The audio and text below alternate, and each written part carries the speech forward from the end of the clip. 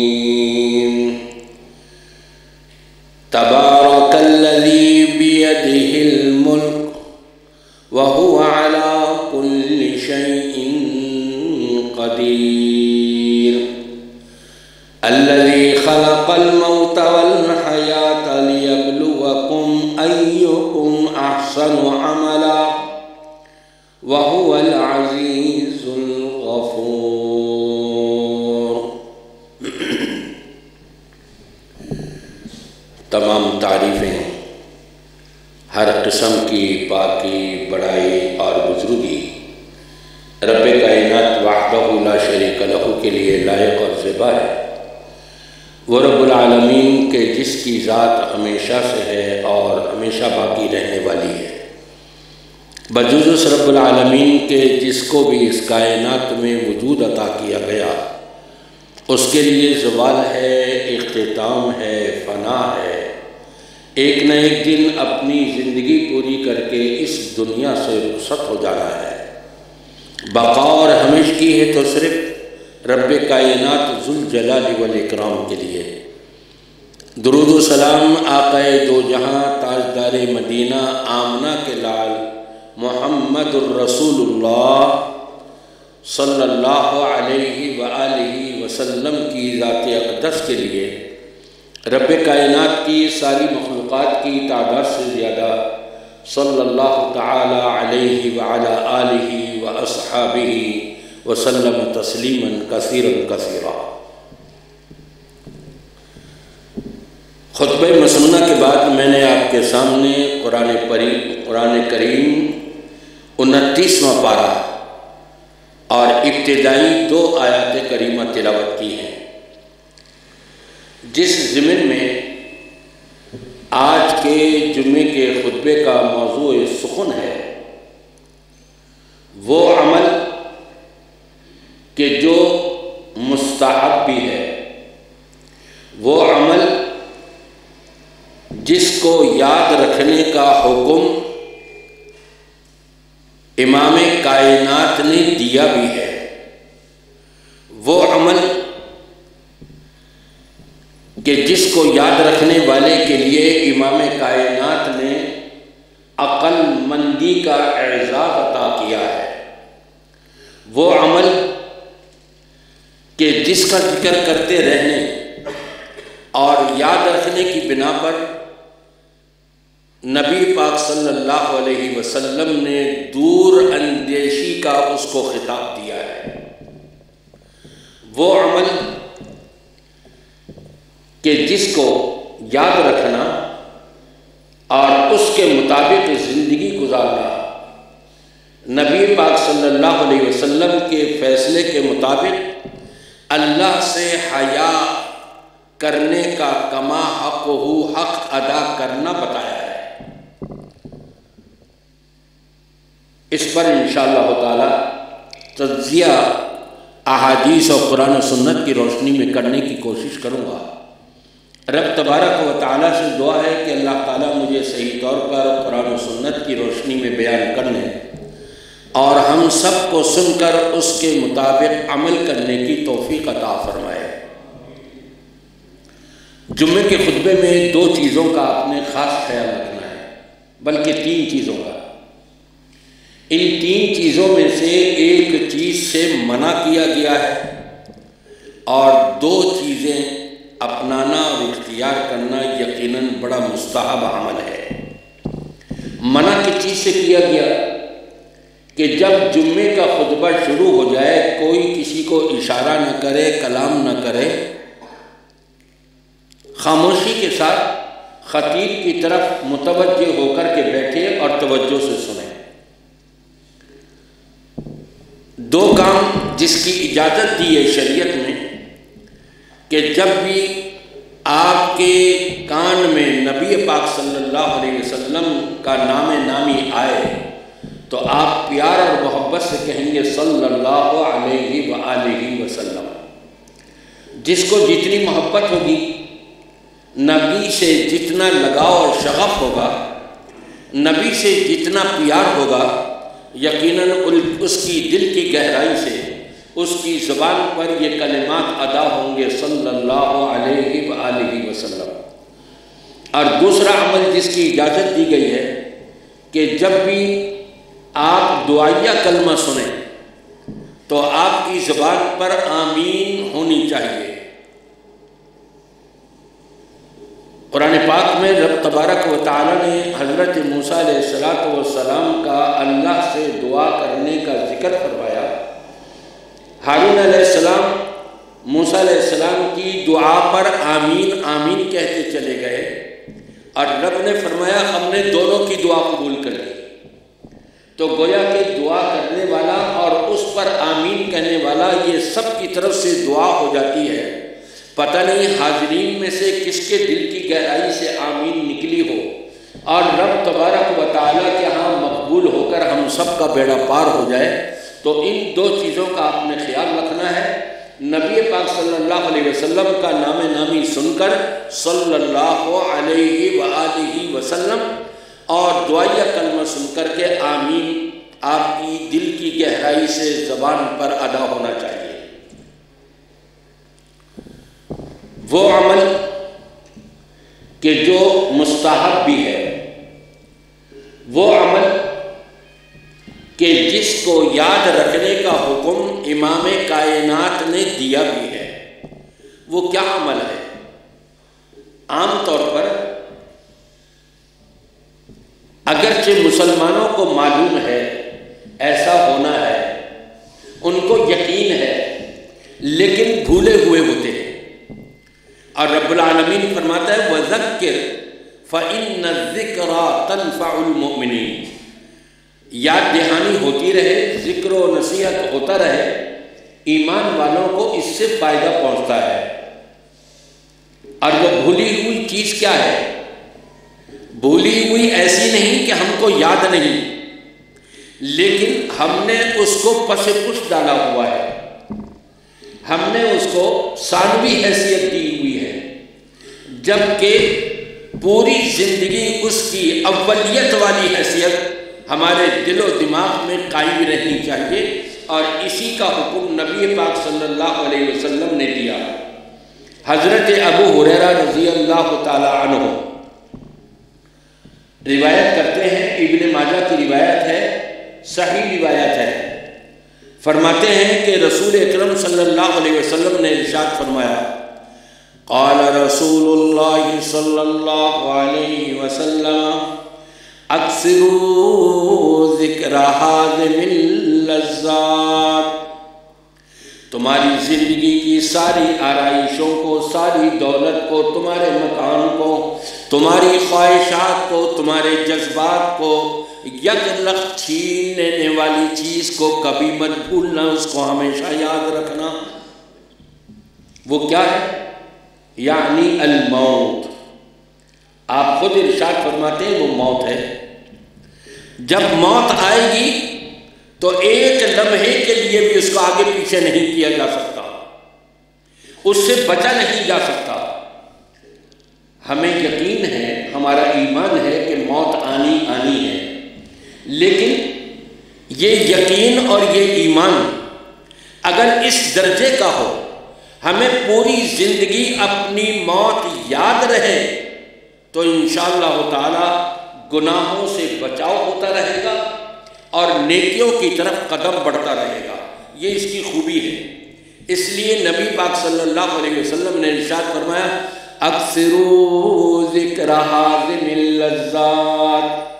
दुनिया की ज़िंदगी की तमाम आरइशों को, तमाम सोचों को तमाम मेहनतों को, तमाम दौलत को, सब कुछ तुमसे छीन ले जाने वाली चीज़ को कभी न भूलना वो मौत है। और नबी पाक सल्लल्लाहु अलैहि वसल्लम बेजात खुद अक्सर और बेशतर रब तबारक व ताला से दुआ फरमाया करते थे, अल्लाहुम्मा अला सकरातिल मौत।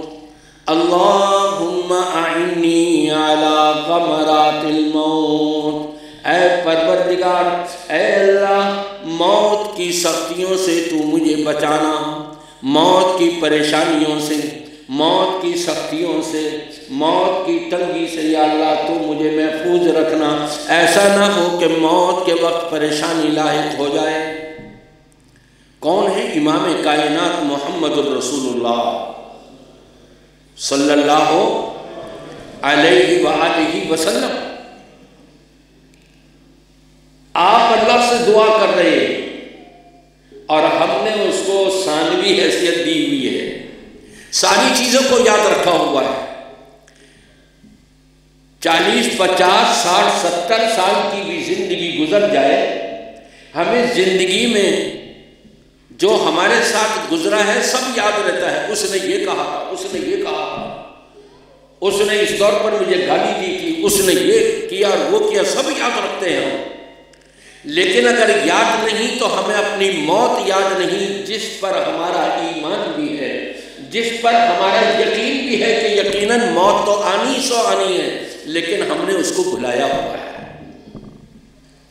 यह है वो अमल। कि जिसको याद रखना मुस्तहब अमल है। ये है वो अमल कि जिसका हुक्म नबी पाक सल्लल्लाहु अलैहि वसल्लम ने अपनी पूरी उम्मत को दिया है। मौत को याद रखना, कभी ना भूलना। मौत याद रहेगी तो नेकी की तरफ़ कदम बढ़ता रहेगा। मौत को भूल जाओगे तो फिर शैतान के दाव में आकर गुनाहों की तरफ़ कदम बढ़ता रहेगा। अल्लाह ताला हम सबको गुनाहों से बचाए और महफूज रखे और अल्लाह हम सबको मौत याद, अपनी मौत याद रखते हुए नेकियों की तरफ़ कदम बढ़ाने की तोफ़ी अता फरमाए। दूसरी रिवायत, ये भी हज़रत अब्दुल्ला इबन उमर रज़ी अल्लाह तहों से रिवायत है और इबन माजा की रिवायत है, हसन दर्जे की रिवायत है। हज़रत अब्दुल्ला इबन उमर रज़ी अल्लाह तु बयान फरमाते हैं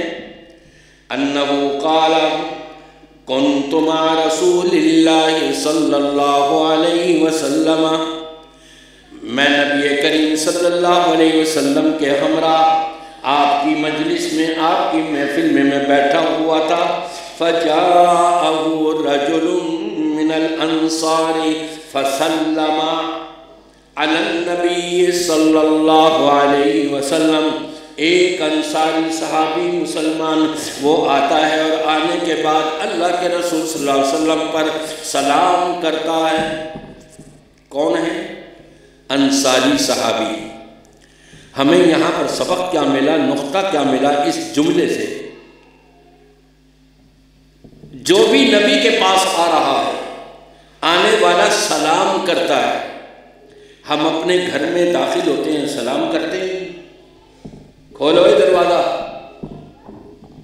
खटखटाया, अंदर से, कौन है? और खोल छेकी खोल दरवाज़ा। बुआ खोल। सलाम नहीं करते। और सहाबा किराम रिजवान मजमाई दो सहाबी जा रहे हैं। दरमियान में दरख्त आ गया, इधर से रास्ता तंग था। एक सहाबी दरख्त के इधर से गुजरे, दूसरे सहाबी दरख्त के उधर से गुजरे हैं। और जब दरख्त उबूर करके दोनों सामने आते हैं, कहते हैं अस्सलामुअलैकुम नबी पाक सल्लल्लाहु अलैहि वसल्लम तशरीफ़ फरमाते एक सहाबी आए कहने लगे कि अस्सलामुअलैकुम आपने सलाम का जवाब दिया, फरमाया, अशरुन। थोड़ी देर में एक और साहबी आए। उन्होंने कहा, अस्सलाम वालेकुम वरहमतुल्लाह आपने सलाम का जवाब दिया और फरमाया, इशरून। थोड़ी देर में एक और साहबी आ गए।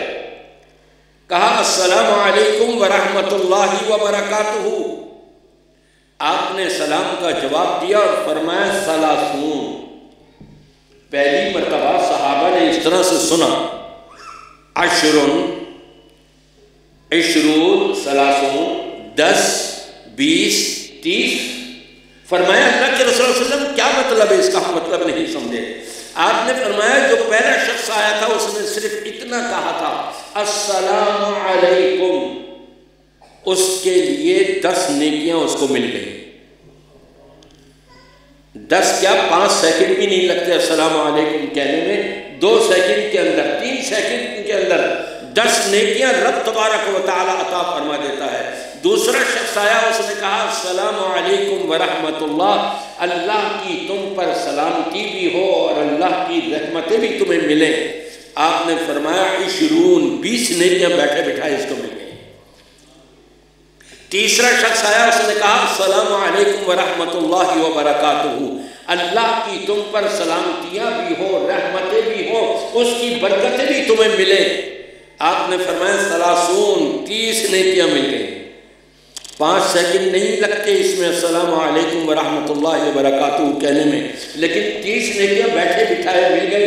लेकिन आज मुसलमानों की आम तौर पर आदत ये बन चुकी है। घर में दाखिल होंगे लड़ाई भिड़ाई हो रही है, क्यों हो रही है?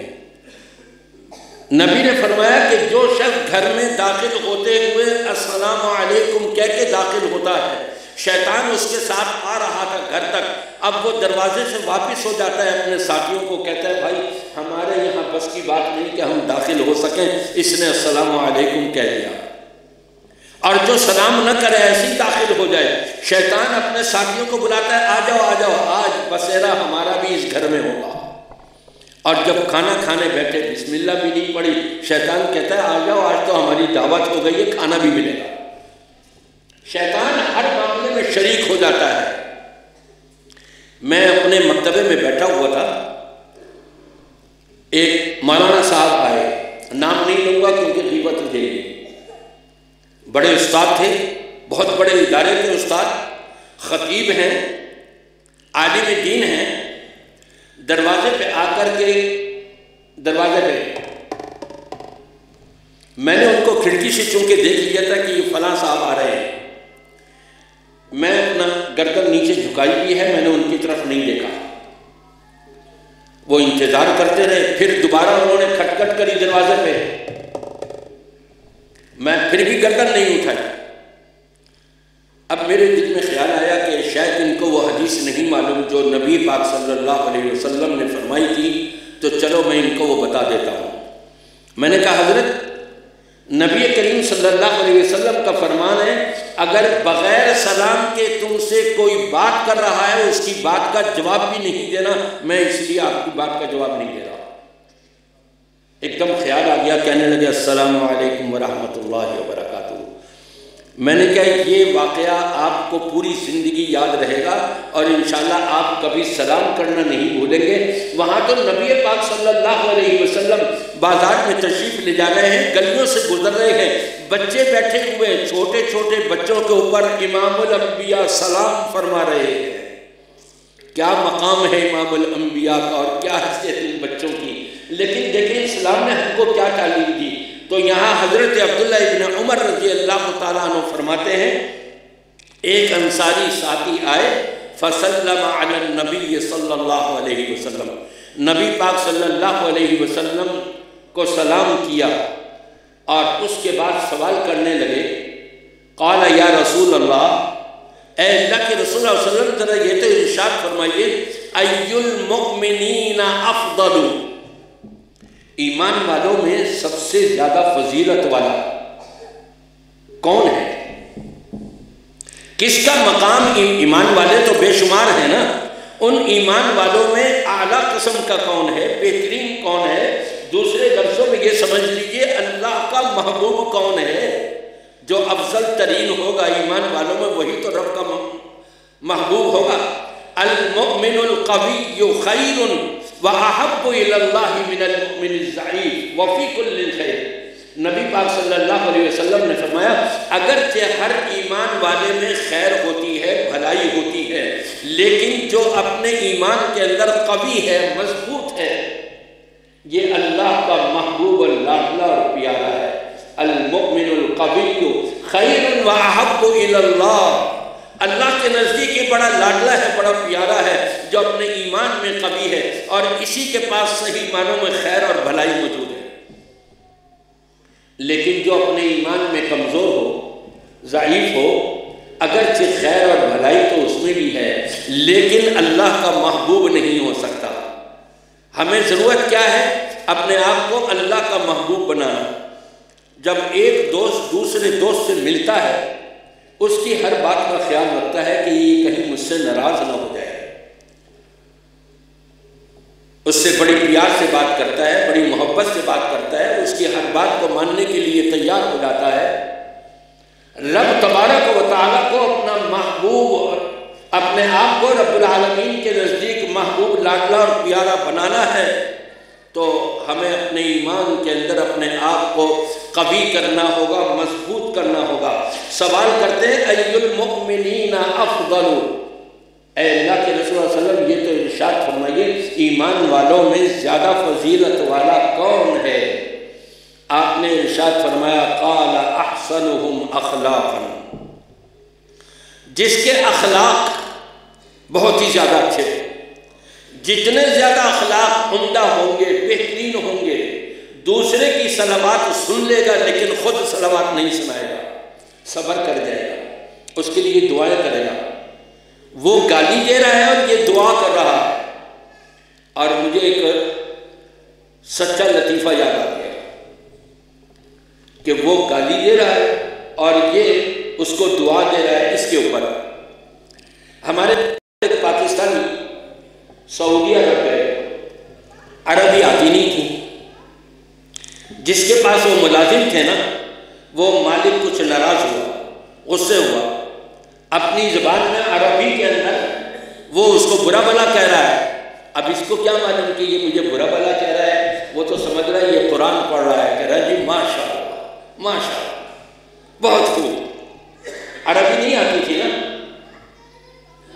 रसूल पाक सल्लल्लाहु अलैहि वसल्लम से पूछा गया अयुल मुमिनीना अफदल? ईमान वालों में फजीलत वाला कौन है? आपने फरमाया, जिसके जितने अखलाक अच्छे और उमदा होंगे। और जब अखलाक अच्छे होंगे, आप फरमाते हैं, जिसके अखलाक अच्छे होंगे, वो जन्नत में मेरे इतने करीब होगा। जैसे ये दो उंगलियाँ हैं। अल्लाह। रबालमीन के यहाँ भी बुलंद वाला मकाम अखलाक के मालिक को और इमाम कायनात सल्लल्लाहु अलैहि वसल्लम, जब भी नबी का नाम नामी आए तो आपकी ज़बान पर सल्लल्लाहु अलैहि वसल्लम होना चाहिए। आपके हमरा जन्नत में दाखला और आपका क्रूब तकर्रब मिल रहा है जन्नत में। फिर इस अंसारी ईमान वाले ने सवाल किया एक और। अल्लाह के रसोल ये फरमाइए फ़ायुलमिनसो ईमान वालों में ज़्यादा खलमंद कौन है? अगर हमसे कोई पूछे ना किसी से हाँ भाई, कौन है अकलमंद अरे मियाँ, वो पहले फ़कीर था, गली गली घूमा करता था, और रुपया, दो रुपया उसको मिल जाया करता था। उसने पैसा जमा करके ठेला लगा दिया। देखो, अकलमंद है कितना अकलमंद है ये। वो फकीरी छोड़ दी। कुछ अरसे ठेला लगाया, पैसा जमा करके उसने दुकान किराए पर ले ली कुछ अरसे और उसने पैसे जमा करके, अब जितने बेटे थे, हर बेटे के लिए एक एक दुकान कर दी मियाँ कितना अक्लमंद है। हमारी अकल सिर्फ़ यहाँ तक काम करती है। काम तो कर सकती है इससे ज़्यादा, क्योंकि अल्लाह ने हर एक को अकल सलीम दी है। कुल्ल मौलूद फितरा। दीन इस्लाम की फितरत पर अल्लाह ने हर इंसान को बनाया और पैदा किया है। अब अबाहुमा उसके बड़े जो है माँ बाप जो है, उसका गोया कि यूँ माशरा जो है, वो उसको इधर ले जाता है, उधर ले जाता है। किसी को यहूदी बना दिया, किसी को ईसाई बना दिया। आज भी अगर आप देखें, मुसलमानों की बात कर रहा हूँ, गैर मुस्लिमों की नहीं। नबी का अमल इतना नहीं मिलेगा जितना अमल यहूदियों का और ईसाइयों का उनको मिलेगा। हमारे बच्चे हैं, नबी ने भी पट्टे बाल रखे हैं, लेकिन मांग नाक की सीध में निकाली है। हमारे बच्चों की मांग कहाँ निकली हुई होती है? अंग्रेज़ों की तरह, ईसाइयों क्रिश्चनों की तरह से। नबी पाक सल्लल्लाहु अलैहि वसल्लम ने फरमाया बोधे बाल मत रखो अगर बाल बड़े करने हैं तो पूरे सर के बाल बराबर होने चाहिए। कसब से मना किया आपने। हम अपने बच्चों के बाल कानों के ऊपर से मशीन फिरवा दी और ये बीच के बड़े बाल यहूदियों वाले रख लिए मुसलमानों की अक्सरियत इस तरफ़ जा रही है। और सिर्फ़ बच्चों की नहीं, बड़ों के अपनी ये कैफियत हुआ करती है। और मुझे तो हैरत उस वक्त हुई। नाम तो नहीं लूँगा। अल्लामा सोशल मीडिया के ऊपर बड़ा काम करने वाले। बड़ी तकरीरें उनकी आती बहुत कुछ। तकरीर के दरमियान उनको कुछ गर्मी लगी तो टोपी उतारी उन्होंने और ज़रा खुजाने लगे, देखा तो उनकी भी मांग टेढ़ी हुई। इन्ना लिल्ला व इन्ना अल्लाह को भी हिदायत दे, मौलवियों को भी हिदायत दे आम मुसलमानों को भी और ईमान वालों को भी सबको कुरान और सुन्नत की समझ अता फरमाए। आमीन के ऊपर टैक्स तो नहीं लगता ना कोई? है जी? आमीन कहने से मिलता है, जाता कुछ भी नहीं है। इसलिए दिल की गहराई से आपकी आमीन होनी चाहिए। अल्लाह तबारक व ताली मुझे भी, आप सबको भी और तमाम कलमा पढ़ लेने वाले मुसलमानों को कुरान और सुन्नत की सही समझ अता फरमा दे। पूछा अय्युलमिना अकयसो अल्लाह के रसोल ईमान वालों में सबसे ज़्यादा अक्लमंद कौन है तो देखे नबी करीम सल्लल्लाहु अलैहि वसल्लम ने क्या इरशाद फरमाया काला अक्सर लिलमौत ज़िक्रन व अक्सरुहुम लिमा बादहु इस्तिदादन उलाइकल अकिया ये भी इबन माजा की रिवायत है और हसन दर्जी की है। पूछा गया ईमान वालों में सबसे ज़्यादा अक्लमंद कौन है? आपने फरमाया, जो अपनी मौत को याद रखता मौत का ज़िक्र करता रहता शैतान ने बहकाया पाँच हज़ार का नोट यहाँ पड़ा हुआ है। कोई देख तो नहीं रहा। इधर इधर गर्दन घुमाई और जल्दी से उठाया, जेब में रखा और दौड़ लगा ली। लेकिन इसको चूँकि अपनी मौत याद थी, नहीं उठाया। या उठाया तो ऐलान किया, भाई, किसी के पैसे गिरे थे मुझे कुछ पैसे रुपए मिले हैं। अगर कोई निशानी बता दे तो मैं उसको दे दूँ एक साल तक लुकता वाली चीज़ जो बड़ी गिरी हो किसी की, उसको लुकता कहते हैं, हदीस में। एक साल तक ऐलान करना है। और बल्कि एक रिवायत के मुताबिक अगर तुम्हारी पूरी ज़िंदगी में कभी भी वो साहिब माल आ गया, तुमने तो हड़प कर लिया, खा लिया, पी लिया, लेकिन तुमको देना पड़ेगा, अदा करना पड़ेगा। एक रिवायत के मुताबिक नबी करीम, सही मुस्लिम की रिवायत है। फरमाया कि जो मौत को ज़्यादा याद रखने वाला है और मौत के बाद के जो हालात हैं, कब्र में फरिश्तों से मुलाकात होनी है। आलम बरसक की ज़िंदगी पूरी की पूरी पता नहीं कितने साल, कितने सौ साल, कितनी सदियाँ गुजारनी पड़ जाए क़यामत तक। उसको याद रखा। रोज़े मैशर क़यामत के दिन अपने कब्र से उठाए जाने के वाक़े को याद रखा। रोज़े मैशर रब्बुल आलमीन की अदालत में पेश होने का वक्त याद रखा। वकुल्लुहुम आती यौमल फ़रदा। रबालमीन फरमाता है, इनमें से हर एक ने अल्लाह की अदालत में अकेले अकेले आना है। न शौहर के साथ बीवी होगी, न बीवी के साथ शौहर होगा, न माँ बाप के साथ औलाद होगी, न न औलाद के साथ माँ बाप होंगे। न दोस्त के साथ कोई दोस्त होगा, न उनका इमाम होगा, न पीर होगा, न मुर्शिद होगा, बल्कि वहाँ पर तो ये होगा इमाम अम्बिया मोहम्मद वसल्लम के फरमान के मुताबिक तमाम अम्बिया की ज़बान पर रोज़ मैशर ये कलिमात होंगे रब सल्लिम रब सल्लिम रब सल्लिम। ए परवरदिगार ए दहशत और वहशत और हौलनाकी से टेम्परेचर जो इतना हाई हुआ हुआ है, बर्दाश्त के बाहर है, या अल्लाह, आज तू हमें सही सलामत रखी हो। उस वक्त को याद रखता है। मौत को भी याद रखा हुआ है, कब्र को भी याद रखा हुआ है। आलम बरसक की सारी ज़िंदगी को याद रखा हुआ है। कब्र से उठाए जाने का वक्त इसको याद है। और रब्बुल आलमीन की बारगाह में पेश होने वाले वाकयात इसको याद हैं? पुल सिराज से गुजरने वाली कैफियत इसको याद रहती है? इसके नामाए आमाल, नेकियाँ और बुराइयाँ तराजू के दोनों पल्लों में रख कर के तोले जाने का वक्त याद रहता है। फरमाया उलामुल अकियास। उलाकल अकियास ये है अक्लमंद। आज तो हमने अकलमंद उसको समझ लिया है जिसके पास जितनी ज़्यादा दौलत हो, बड़ा अकलमंद है ये। दावा तो किसने किया था पता है आपको? कुरान ने ज़िक्र किया है। कानून ने इसको समझा था। जब उससे कहा गया कि अल्लाह के रास्ते में गरीबों का हक निकालो, जक़ात दो। पशु पेश करता रहा, आखिरकार आकर के उसकी जबान पर ये कलिमात आ गए।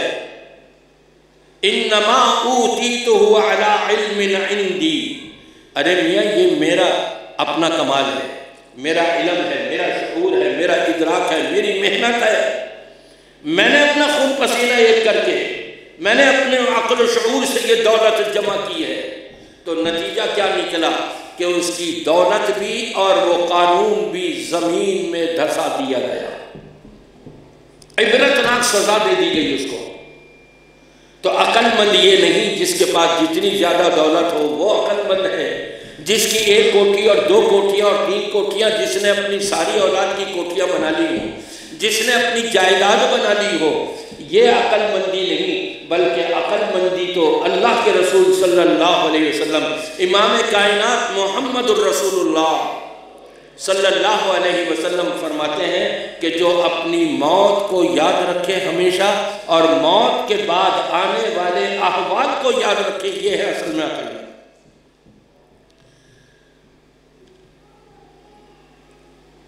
मौत को याद रखना मुस्तहब भी है, ये भी आपने रिवायत सुन ली। मौत को याद रखना नबी का हुक्म भी सुन लिया आपने। मौत को याद रखने वाला अक्लमंद है। ये भी आपने रिवायत सुन ली। अब आगे चलते हैं, एक और रिवायत। हज़रत अब्दुल्ला उमर रज़ी अल्लाह रिवायत करते हैं, तबरानी की रिवायत है, हसन दर्जे की रिवायत है। क्या फरमाते हैं? सल्लल्लाहु अलैहि वसल्लम आशिर अशरतिन नबी करीम सल्लल्लाहु अलैहि वसल्लम तशरीफ़ फरमाते मैं भी आ गया। और जब मैं आया हूँ तो मुझसे पहले नौ अफराद बैठे हुए थे, मैं दसवां था देखे कितनी गहराई हुआ करती थी उनके अंदर। जब ईमान के लिए कदम बढ़ता, उनका नेकी के हसूल के लिए कदम बढ़ता तो एक एक चीज़ उनको याद रहती है, वो फिर बयान करते। फरमाते दस में मैं दसवा आदमी था, मुझसे पहले नौ अपराध अल्लाह के रसोल्ला की खिदमत में बैठे हुए थे। फ़काम रजुल मिनल अंसार।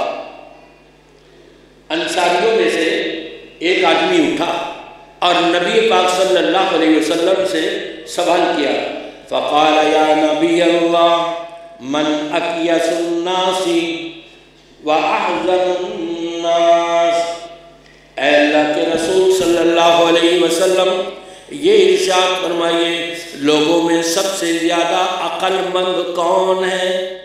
लोगों में सबसे ज़्यादा दूर अंदेश कौन है? अक्लमंदी दो किस्म की होती है। एक अक्लमंदी, अभी जैसे हालात चल रहे हैं, उसमें अक्लमंदी से काम ले रहा है। लेकिन एक अक्लमंदी वो, अभी उससे वास्ता भी नहीं पड़ा। और बड़ी दूर अंदेशी की सोच है इसकी। कल क्या हो सकता है? एक साल बाद क्या हो सकता है? दूर दूर की सोच करके फूक फूक करके कदम उठाता है वो दीन के मामले में और दुनिया के मामले में। तो सवाल करते हैं कि अल्लाह के रसूल वसल्लम ये इशाद फरमाइए, मन अक या सुन्ना सिवा अहजमुन्नास लोगों में ज़्यादा अक्लमंद कौन है और दूर अंदेश कौन है? देखिए, नबी पाक सल्लल्लाहु अलैहि वसल्लम ने कितना प्यारा जवाब दिया है।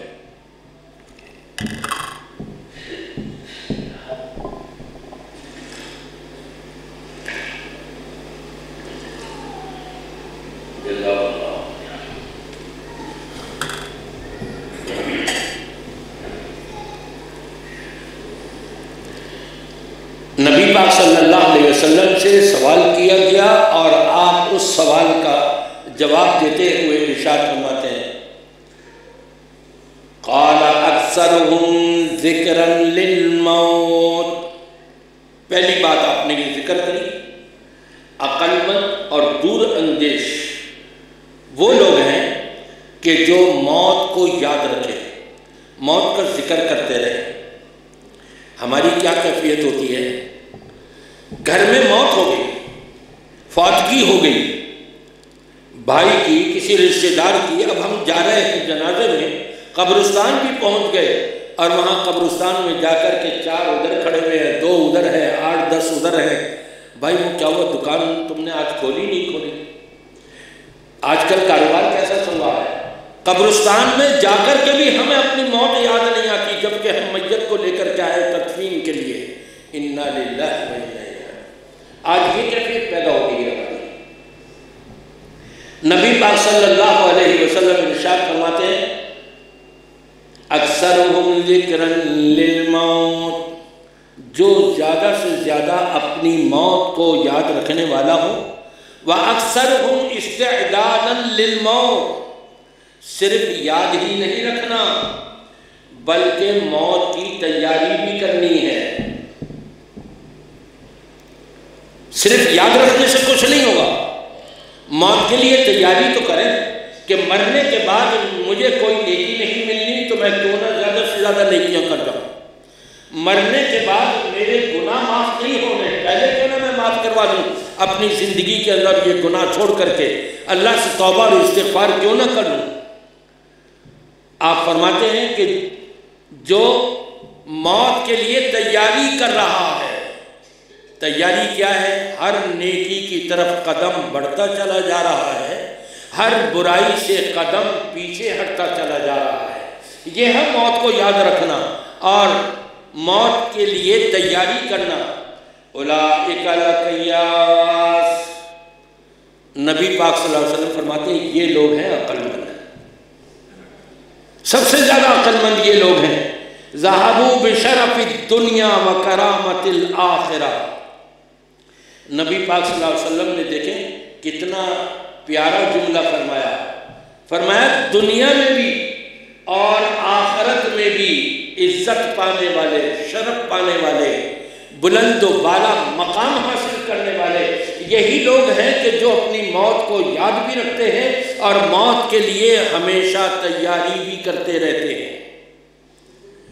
मैं भी और आप भी, हम में से हर एक अपने नफ्स का खुद ही जायज़ा ले सकता है। जब हमारी ये कैफियत हो कि हम मैयत को ले जाएँ कब्रस्तान में और तदफीन के वक्त में भी हमें अपना कारोबार याद रहे तदफीन के वक्त में भी हमें दुनियादारी से न निकल पा रहे हों तो मौत कहाँ याद रहेगी और तैयारी कहाँ से होगी? अल्लाह तबारक व ताली हम सब की असलाह फरमा दे। और मैंने शुरू में आपको ये भी बताया था कि ऐसा अमल कि जिसको याद रखना, ये इबादत है। याद रखना भी इबादत है। देखिए, नबी पाक सल्लल्लाहु अलैहि वसल्लम क्या इरशाद फरमाते हैं? बज़ार की रिवायत है और हसन दर्जे की रिवायत है। हज़रत अनस रज़ी अल्लाह तह फरमाते हैं, काला ज़ुकिर नबी सल्लल्लाहु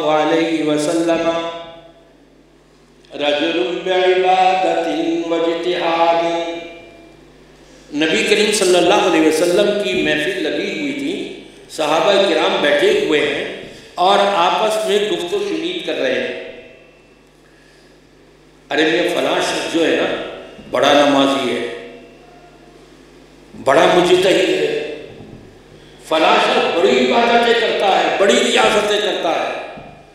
बड़े अखलाक उसके अच्छे हैं। बहुत ही उमदा इंसान है। मैंने तो ऐसा देखा ही नहीं। आजकल यही कहा जाता है ना किसी के बारे में। तो हज़रत अनस अल्लाह ने फरमाते साहब किराम, आपस में किसी एक मुसलमान के बारे में उसकी तारीफ़ें कर रहे थे बड़ी बड़ा इबादत गुजार है, बड़ा नेक है, बड़ा साले है, बड़ा अल्लाह वाला है।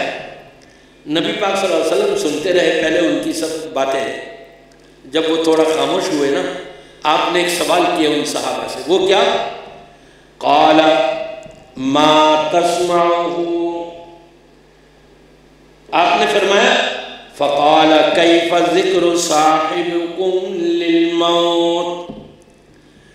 जिस अपने साथी की तुम तारीफ़ें कर रहे हो, बड़ा इबादत गुजार है, बड़ा रियाजत वाला है, बड़ा अल्लाह वाला है, बड़े अखलाक वाला है बहुत ही उमदा है और अच्छा है। ये बताओ कि कभी इसने मौत का ज़िक्र किया? मौत को याद रखा? मौत भी इसको याद आती थी ये नहीं? कालू माँ नस्माऊ यद करो साहब कराम जवाब देते हैं, ऐसा तो हमने नहीं सुना कभी कि उसने मौत का ज़िक्र किया हो। मौत को याद किया हो। तो देखे, नबी पाक सल्लल्लाहु अलैहि वसल्लम क्या इरशाद फरमाते हैं। लई साहिबुकुम होना फिर तुम्हारा साथी, जिस इबादत की वजह से, जिस रियाजत की वजह से तुम उसको जिस मर्तबे पे समझ रहे हो, जिस मकाम वाला समझ रहे हो लई होना फिर वो उस मकाम तक नहीं पहुँचा। वो दर्जा उसको हासिल नहीं हुआ। जो दर्जा तुम्हारे जहन में अपने उस साथी मुसलमान के लिए है, बड़ी इबादतें करता था, बड़ी रियाजतें करता था, बड़े तहजद पढ़ता था, बड़े कुरान पाक की तिलावत किया करता था, बड़ी सखावतें किया करता था, बड़े सदक़ात खैरात निकाला करता था। ये सब अपनी जगह है, लेकिन जब उसको मौत याद न हो, मौत का तस्करा न करता हो अपनी ज़िंदगी में, फरमाया उस दर्जे को वो नहीं पहुँच सकता। अल्लाह। हम भी ज़रा अपनी इबादतों को सोच लें। हम हम भी अपनी ज़रा नमाज़ों पर गौर कर लें। हम भी अपने रोज़ों पर, अपने सदाक़ात व खैरात के ऊपर, अपने अखलाक के ऊपर, क्या इसकी वजह से हम उस बुलंद बाला दर्जे पर पहुँच पा रहे हैं कि जिस दर्जे पर मौत को याद रखने में, मौत का तस्करा करने में जो दर्जा मिल सकता है क्या उस दर्जे को हम पहुँच पा रहे हैं या नहीं?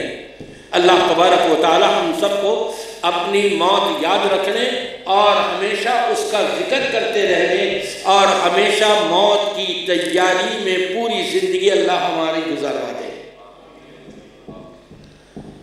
और मैंने शुरू में ये भी बताया था, ऐसा अमल कि जिसकी वजह से अल्लाह से कमा हक हु हक अदा, अल्लाह से कमा हक हो हया करने का हक अदा हो सकता है।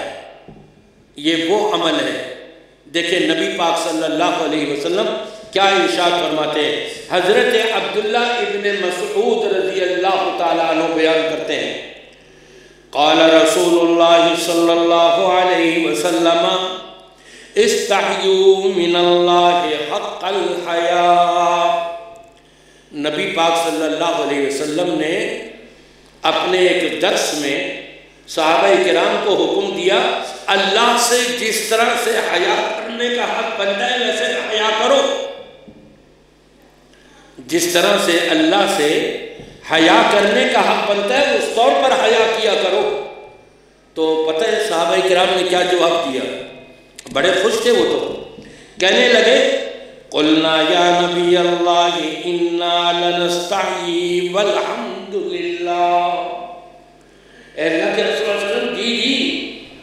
हम अल्लाह से हया करते हैं और अल्हम्दुलिल्लाह। यानी अल्लाह की तारीफ़ कर रहे हैं। अल्लाह ही ने हमें यह हया करने वाला बना दिया। ये अल्लाह का शुक्र है कि अल्लाह ने हमारे अंदर ये मादा पैदा किया हुआ है कि हम अल्लाह से हया करते हैं। हया करने का हक अदा करते हैं। ये सुनकर नबी पाक सल्लल्लाहु अलैहि वसल्लम इरशाद फरमाते हैं लई सजाक अल्लाह से हया करने का कमा हक हो हक अदा करना। तुम जिस बात को समझ रहे हो, ऐसा नहीं है। अब समझो उसको कि अल्लाह से कमा हक हो, हया करने का हक क्या है? तीन चीज़ें नबी पाक सल्लल्लाहु अलैहि वसल्लम ने बताई। जिसके अंदर ये तीनों चीज़ें, तीनों खसरतें तीनों सिफात मौजूद हैं, गोया कि वो अपने अल्लाह से हया करने का कमा हक हो, हक अदा कर पा रहा है। और अगर जिसके अंदर ये तीनों नहीं है, अगर दो भी हैं तो कमा हक हो, हक अदा नहीं हुआ। एक भी है, कमा हक हो, हक अदा नहीं हुआ। नबी पाक सल्लल्लाहु अलैहि वसल्लम क्या इरशाद फरमाते हैं? वलाकिन हक़्क़ल हयाई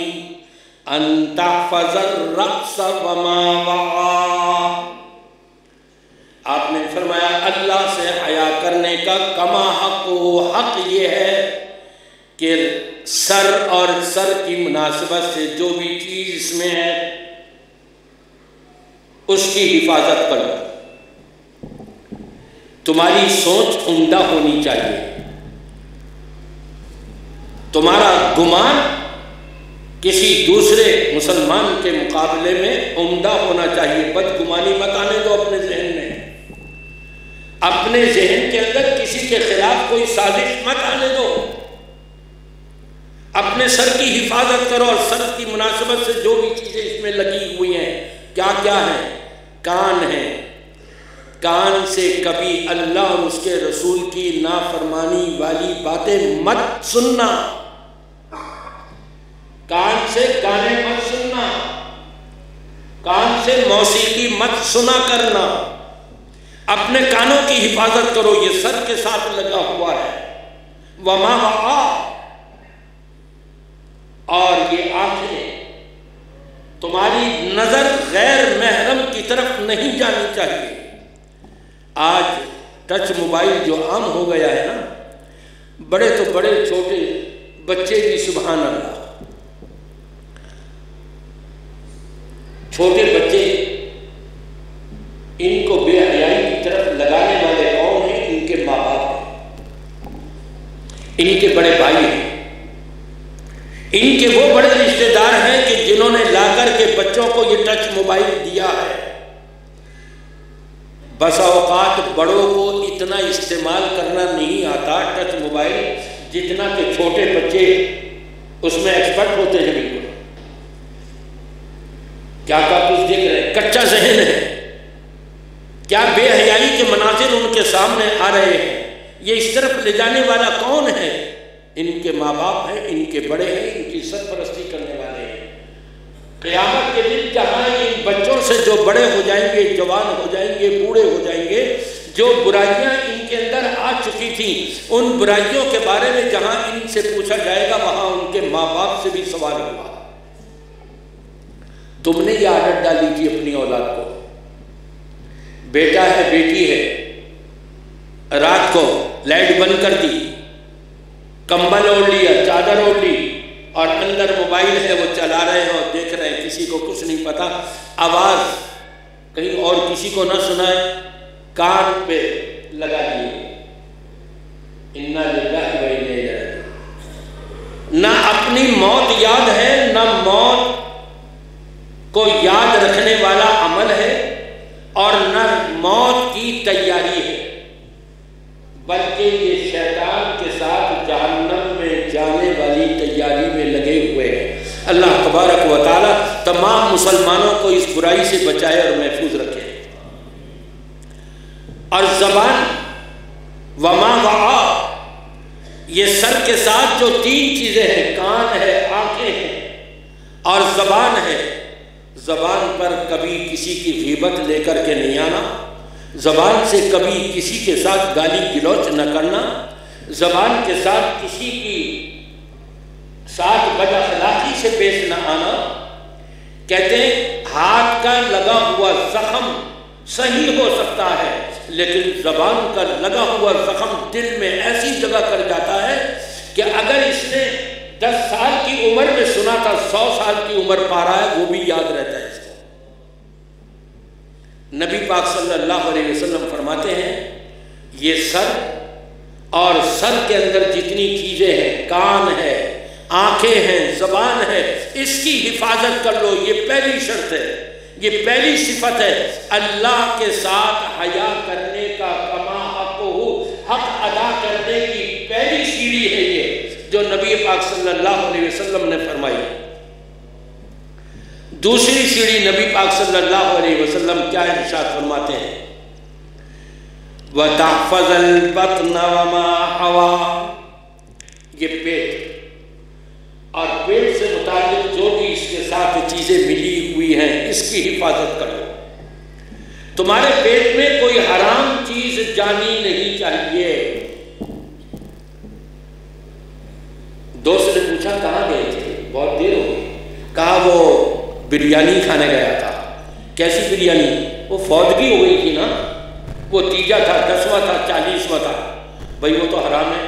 अरे, नहीं, चावल को हराम कहते हो? हलाल चीज़ है। हलाल चीज़ है, लेकिन उसको हराम तरीके से पेट में उतारा जा रहा है। उस चावल को कौन हराम कहता है? लेकिन उस चावल को हराम तरीके से पेट में उतारा जा रहा है। नबी पाक सल्लल्लाहु अलैहि वसल्लम फरमाते हैं, अपने पेट की हिफाजत कर लो, वमा हवा, और पेट के साथ जो चीज़ें लगी हुई हैं, तुम्हारा दिल है।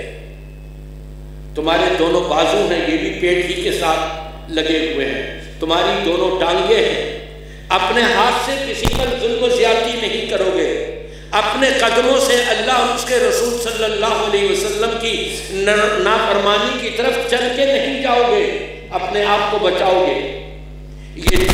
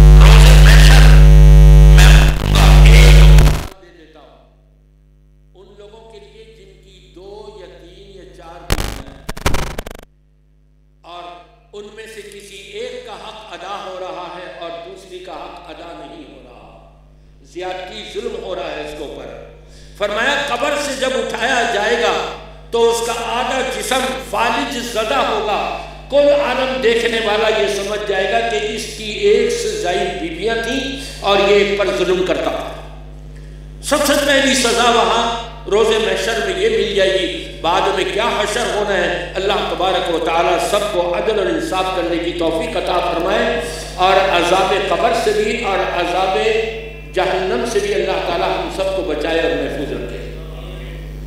नबी पाक सल्लल्लाहु अलैहि वसल्लम फरमाते हैं कि मौत को याद रखना और मौत के बाद आने वाले जन्नत में दाखिल होने से पहले पहले जो भी अहवाल हैं, जिन जिन मकाम से और अहवाल से गुजरना है, उन सबको याद रखते हुए अपनी ज़िंदगी गुजारना। वमन अरादल आखिरत तरक जीनत दुनिया। जिसकी नज़र आखरत पे हो, दुनिया पर नहीं। दुनिया तो कमाने से मना नहीं किया, दुनिया के हसूल से मना नहीं किया। लेकिन आखरत की इतनी फ़िक्र नहीं जितनी दुनिया की फ़िक्र लगी हुई है, ये गलत है। दुनिया से ज़्यादा फ़िक्र आखरत की होनी चाहिए, क्यों? दुनिया की ज़िंदगी ख़त्म होने वाली है। आखिरत की ज़िंदगी कभी भी ख़त्म होने वाली नहीं, चाहे वो जन्नती ज़िंदगी हो या जहन्नमी ज़िंदगी हो। अल्लाह हम सबको जहन्नम से बचाए, महफूज रखे और जन्नत वाली ज़िंदगी अता फरमाए। वमन अरादल आखिरत तरक जीनत दुनिया। आखरत की फ़िक्र करते हुए, आखरत पर नज़र करते हुए दुनिया की जेब जीनत की तरफ़ दौड़ नहीं लगाता, बल्कि आखिरत की तरफ़ इसकी दौड़ लगी हुई है। आप फरमाते हैं, फमन का जिस शख्स ने ये काम कर लिए, फ़कत इस्ताहिया, या, यानी मिनल्लाकल जिसने ये सारे काम कर लिए, वो अल्लाह से हया करने का कमा हक हो हक अदा करने में कामयाब हो गया। मेरी दुआ है कि अल्लाह तबारक व ताली हम सबको यही कामयाबी अता फरमा दे। ये आखिरी रिवायत जो मैंने पेश की है, जाम तिरमिजी की रिवायत है और सही रिवायत है, रब्बुल हम सबसे अपनी ज़िंदगी में यही अमल कि जो आज हमने सुना है, अपनी मौत को याद रखना तस्करा करते रहना और मौत की तैयारी करते रहना। अल्लाह तबारक व ताली पूरी ज़िंदगी हमारी इसी में गुजरवा दे। अक़ूल कौली अजमाइन वस्तफ़िर अल्हम्दुलिल्लाह हदाना लिहादा वमा कुन्ना लिनहतदिय लौला अन मेरे भाइयों, दोस्तों, बुज़ुर्गों, माँ और बहनों हकीकत यह है कि इस्लाम के अंदर हमारी रहबरी और रहनुमाई के लिए, हमारी तरबियत के लिए, हमें अच्छाई की तरफ़ ले जाने के लिए, हमें बुराइयों से महफूज रखने के लिए इस्लाम में आठ दिन के अंदर ये एक जुम्मा रखा गया है कि इसमें बाज़ो नसीहत होती है, सुनने वाले सुनते हैं इसलाह करने वाले, इसलाह करके रब्बुल की बारगाह में कामयाबी का दर्जा हासिल कर लेते हैं। दुआ हमें यही करनी चाहिए कि अल्लाह ताला हमारा शुमार भी ऐसे लोगों में फरमा दे। लेकिन आमीन के साथ साथ दुआ भी होनी चाहिए ना। दवा ये दुआ तो हो गई। दवा बता दूँ मैं आपको। दवा ये है कि जो शख्स खुतबा शुरू होने से पहले मस्जिद में आ गया, उसको पूरा मुकम्मल अजर और सवाब मिल गया।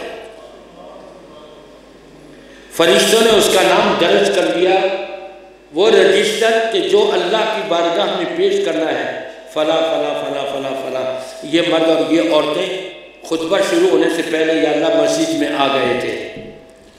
तो रबालमीन उनसे तो खुश होगा ना? और जिनका नाम फरिश्तों ने रजिस्टर में दर्ज ही नहीं किया आ तो गए वो भी बाद में, लेकिन नाम दर्ज नहीं हुआ। वो आप खुद फैसला कर लें कि रबालमीन उनसे राज़ी होगा या नाराज़ होगा, मैं कुछ नहीं कहता। हाँ इतना ज़रूर बताऊँगा। एक वो मुसलमान, जिसकी कोशिश तो थी कि मैं खुतबा शुरू होने से पहले पहुंचूं, लेकिन शरी कोई उज़र आ गया तो। गाड़ी नहीं मिल सकी। रास्ते में कोई ऐसा हालात पेश हो गए कि वक्त से नहीं पहुँच सका। यकीनन अल्लाह उससे भी राज़ी होगा और उसको खुश देगा। क्यों? अपने घर से वो पहले से निकल गया था। नीयत साफ़ हो तो अल्लाह तबारक व उसके अमल को भी साफ़ सुथरा कर देता है। इसलिए कोशिश करनी चाहिए हमें कि हम जुम्मे का खुतबा शुरू होने से पहले पहले यहाँ पहुँच जाए। आखिरी बात, मैं अल्हम्दुलिल्लाह अल्लाह के फजल करम से हमारे मुफ्ती अब्दुलरहमान रहीमी साहब, अल्लाह उनको जजाय खैर दे। जब इनके वालिद साहब हुआ करते थे, दोस्त मोहम्मद साहब, और गालिबा उस वक्त मेरी उम्र थी दस या बारह साल की उम्र। मैं अपने वालिद साहब के साथ आया था। और चक इकहत्तर में वालिद साहब, मौलाना अब्दुल सत्तार साहब रहमत एक हफ़्ता पूरा उन्होंने क़्याम किया था। छोटी सी मस्जिद थी बिल्कुल। और लेटरीन भी क्या थे? चार बल्लियाँ गड़ी हुई और पर्दे टाट के लगे हुए चारों तरफ़। ये लेटरीन होता था। उस वक्त मैं आया था वहाँ। अल्लाह ने कुछ मोहब्बत ऐसी पैदा कर दी। इनके दिलों में भी मेरे हमारे लिए और हमारे दिलों में भी इनके लिए।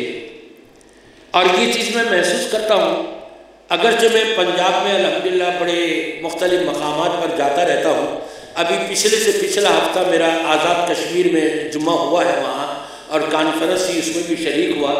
लेकिन यहाँ आकर के मुझे जो अपनाइत मिलती है ना, उस दर्जे की अपनाइत मुझे कहीं और नहीं मिलती। अपनाइत वहाँ पर भी है, लेकिन दर्जे होते हैं ना। तो अल्लाह इनको जजाय खैर दे कि ये मुझे दावत देते हैं और मैं इनकार नहीं करता हूँ, मैं आप हजरात की खिदमत में हाजिर हो जाता हूँ। पिछले साल भी तकरीबन यही तारीखें थी एक आध हफ़्ते का फ़र्क होगा, आपके यहाँ हाजिर हुआ था। और अलहमदिल्ला जब भी मैं आता हूँ, यहाँ देखता हूँ कि मस्जिद का काम माशाल्लाह बढ़ता चला जा रहा है। पहले कैफियत ये थी, कई साल पहले, कि इसके छपड़े झड़ रहे होते थे। ये आप लोगों की मेहनतें हैं, आप लोगों के पैसा है, आप लोगों का जज्बा है कि जो आप लोगों ने सबने मिल कर के इनके साथ ताउन किया और अलहमदिल्ला ये मस्जिद आज देखें कितनी बेहतरीन और उमदा हो गई है। अभी यहाँ जो कारी साहब रखे हुए हैं, उनके लिए मकान बनाना चाह रहे हैं, उस्तादों के लिए दो कमरे ऊपर बनाना चाह रहे हैं और फरमा रहे थे कि चार लाख रुपए की हमें उसके लिए ज़रूरत है।